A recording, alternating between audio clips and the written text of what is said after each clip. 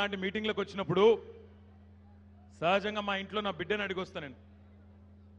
మరి ఇట్లా గన్పూర్ నియోజకవర్గం పోతున్నా సూడస్పల్లి పోతున్నా అక్కడ డాక్టర్ రాజయ్య గారు కడియం శ్రీహరి గారు పల్లా రాజేశ్వరరెడ్డి గారు అందరూ కలిసి పెద్ద మీటింగ్ పెట్టినరు మరి మా అన్నలు తమ్ముళ్ళు అక్కలు చెల్లెలు చాలా మంది వస్తారు.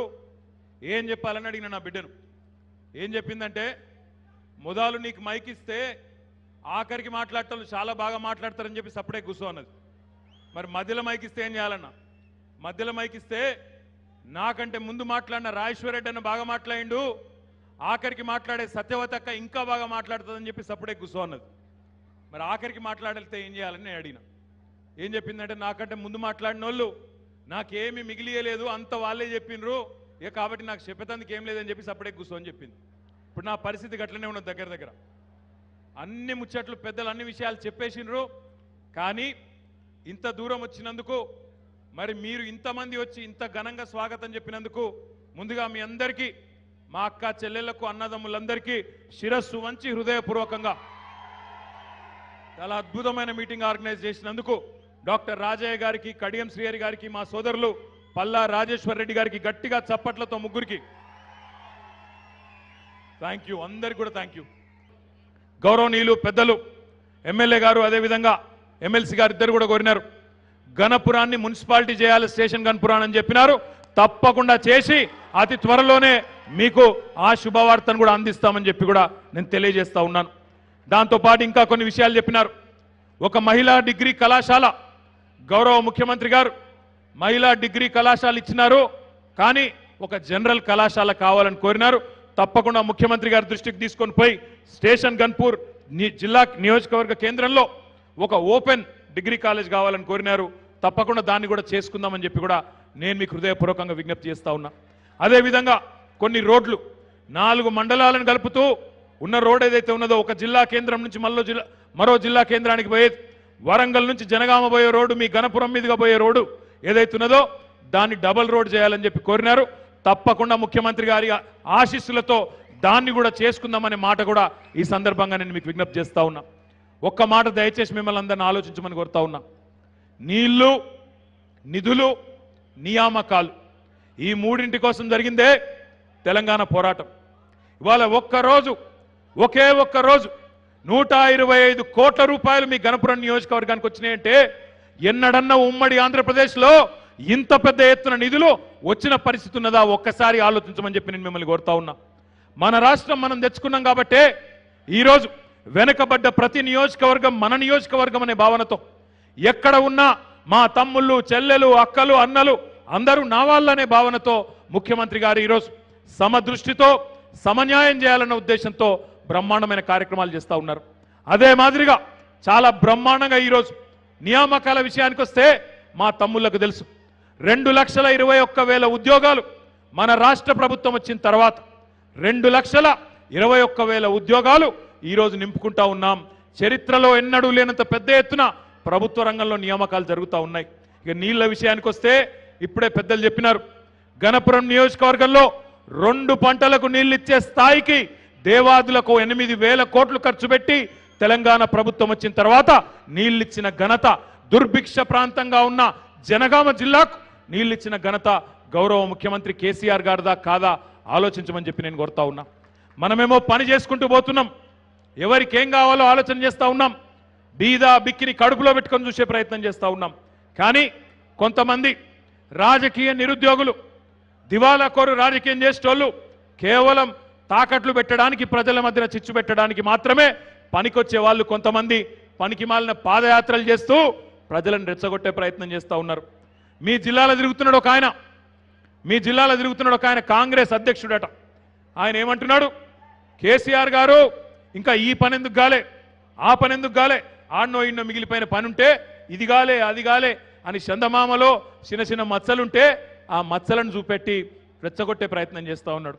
ఇంకా సిగ్గుమాలిన పని ఏంటంటే కాంగ్రెస్ పార్టీ అధ్యక్షుడు అంటున్నాడు ఒక్క ఛాన్స్ ఇవ్వండి ఒక్క ఛాన్స్ ఇవ్వండి మాకు అని మరి అడుక్కుంటున్నాడు. నేను గుర్తు చేస్తా ఉన్నా సోదరా ఒక్క ఛాన్స్ కాదు. నీ పార్టీకి నీ దిక్కుమాలిన పార్టీకి స్వాతంత్రం వచ్చిన డెబ్బై ఐదు సంవత్సరాలలో ఒకటి రెండు కాదు పది ఛాన్సులు ఇచ్చిండ్రు ప్రజలు యాభై ఏండ్లు దేశాన్ని రాష్ట్రాన్ని మీ దౌర్భాగ్యుల చేతుల్లో పెట్టినందుకే కరెంటు లేక నీళ్ళు లేక సాగునీరు లేక ఆత్మహత్యల పాలైండు తెలంగాణ రైతన్న. ఇప్పుడిప్పుడే ముఖం తెలివికొచ్చి ముందుకు పోతా ఉన్నాం. నువ్వు రెచ్చగొట్టినా చిల్లరమల్లర మాటలు మాట్లాడినా పడిపోయేటోళ్ళు ఎవరు లేరు అమాయకులు అంతకంటే లేరు. కానీ ఎట్లుందంటే కాంగ్రెస్ వాళ్ళ కథలు వింటుంటే ఎట్లా అనిపిస్తుందంటే వాళ్ళు మాట్లాడే మాటలు. నాకు ఒక చిన్న కథ గుర్తొస్తున్నది. వెనకటికి మన సుధాష్ పల్లెస్ అంటే ఊళ్ళోనే ఓ చిన్నపిల్లగాడు ఉండే. ఆ చిన్న పిల్లగాడు వాడు చిన్నప్పటి నుంచే చదువు సంధ్య రాలేదోనికి చిన్నప్పటి నుంచి స్కూల్కి చక్కగా ఓలే అన్ని లంగ సోపతులు పట్టిండు. పట్టి అట్లనే పెరిగి పెరిగి పెరిగి ఇక పాడైండు పూర్తిగా. మా చిన్నప్పటి నుంచే మందు దాగుడు గుట్కా బుక్కుడు జర్ద బుక్కుడు అన్ని లంగ అలవాట్లు లంగ సోపతులు. ఆఖరికి ఏమైంది? పదహారు పదిహేడేళ్ళకి వచ్చిండు. వచ్చినాక ఒకరోజు బాగా తాగిండు. తాగి ఇంకా తాగాలనిపించింది. తాగాలనిపించి ఇంట్లోకి వచ్చి వాళ్ళ నాయన ప్యాంటు ఆడ గోడ మీద ఉంటే ప్యాంట్లోకి వెళ్ళి పైసలు కొట్టేవేయండి పర్సు కొట్టేవేయండి వాళ్ళ అమ్మ చూసింది. అమ్మ చూసి ఉరికొచ్చి పట్టుకున్నది. పట్టుకొని దౌడమికెళ్ళి ఒకటి చంపింది. ఇంట్లో దొంగతనం చేస్తావురా ఎంత దుర్మార్గుని ఎంత చండాలమైన పని అని చెప్పి గట్టిగా కొట్టింది. కొడితే ఏమైంది? ఆయన కోపం మీద వాడు తాగున్నాడు రోకల్ బండ తీసుకొని తల్లిని మరలవాడు కొట్టిండు. కొడితే తల్లి అక్కడనే స్పాట్లో చచ్చిపోయింది. తండ్రి ఉరికొచ్చిండు చూసి ఎంత పని చేస్తేవరా నాయన? అని చెప్పి ఉరికొచ్చి అయ్యయ్యో అని చెప్పి పాపం గుండెలు బాదుకుంటా పిల్లగాన్ని ఆపోయిండు. వాడు తండ్రిని కూడా అదే రోకల్ బండ అందుకొని తండ్రిని కూడా కొట్టిండు. తండ్రి కూడా ఆయనతో అక్కడనే కుప్పగూలిండు చచ్చిపోయిండు. మరి మర్డర్ చేస్తే పోలీసు వాళ్ళు ఊకోరు కదా? ఆయనతో పోలీసు వాళ్ళు పట్టుకున్నారు. పట్టుకొని జడ్జి గారి దగ్గర తీసుకపోయాను. జడ్జి గారి దగ్గర తీసుకపోతే ఆ జడ్జి గారు పాపం మన ఎరవేలి దాయకర్రావు గారు లెక్క కొద్దిగా పెద్ద మనిషి మంచోడు. ఆయన చూసినట్ట పిల్లగాని కిందికి వెళ్ళి మీద దాకా. చూసి అరే నేను చాలామంది గలీజ్ గాలని చూసినారు ఆ జీవితంలో చాలామంది క్రిమినల్స్ చూసినా కానీ నీ అయితే చూడలేదు నేను. సొంత తల్లిదండ్రినే చంపినావు. ఏం చేయాలో నువ్వే ఇక నీకు నీకేం శిక్ష చేయాలో నాకైతే అర్థమైతే లేదు. నువ్వే చెప్పి కాలబెట్టన్నాడట. అంటే వాడు ఏమన్నాడు ఎరికేనా? అప్పటిదాకా ఇట్లా రొమ్మిర్చుకొని నిటారుగా నిలబడ్డాడు. ఎగ్దమ్ రెండు చేతులు కట్టుకొని యాక్టింగ్ చేసుకుంటా అయ్యా నేను తల్లిదండ్రి లేని అనాథన్ సార్ నన్ను ఇడిచిపెట్టి సార్ అన్నాడట. రేవంత్ రెడ్డిని చూస్తే కూడా నాకు గదే కథ గుర్తొస్తుంది. హంతకుడే సంతాపం చెప్పినట్టు హంతకుడే సంతాపం చెప్పినట్టు నిన్న మొన్నటిదాకా సావగొట్టినోడే ఇయ్యాల వచ్చి కరెంటు ఇది అది అని ఎకసెక్కపు మాటలు మాట్లాడితే నేను అడుగుతా ఉన్నా మరి. యాభై ఏండ్లు నీకు అధికారం ఇచ్చినప్పుడు ఏం పీకినావు ఏం చేసినావా అన్నాడు ఆ రోజు గుడ్డి గుర్రాల పండ్లు దోమినవా ఆ రోజు ఏం చేసింది నీ పార్టీ నీ ప్రభుత్వం? ఆ రోజు ఎందుకు లేదు మీకు సోయి? ఆ రోజు ఎందుకు రాలేదు మీకు తెలివి?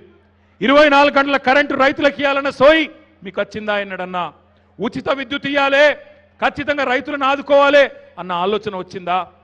ఒక్కొక్క ఎకరానికి ఒక్కొక్క పంటకు ఐదు వేల రూపాయలు ఇచ్చి రెండు పంటలకు పదివేల రూపాయలు ఇచ్చి మరి బ్రహ్మాండంగా రైతు బంద్ ఇవ్వాలన్న ఆలోచన నీ కాంగ్రెస్ పార్టీకి వినడం వచ్చిందా?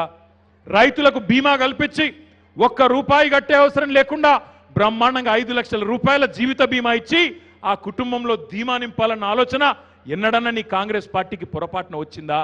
ఇవేవి అధికారంలో ఉన్నప్పుడు చేయవు. కరెంట్ ఇయ్యవు తాగునీరు ఇయ్యవు సాగునీరు ఇయ్యవు అప్పుడేమో సావగొడతావు ఇయ్యాల వచ్చి ఎకసెక్కపు మాటలు మాట్లాడుకుంటా ఒక్క ఛాన్స్ ఇవ్వండి ఒక్క ఛాన్స్ ఇవ్వండి అంటే పిచ్చోళ్ళలాగా కనబడుతున్నారా తెలంగాణ ప్రజలు?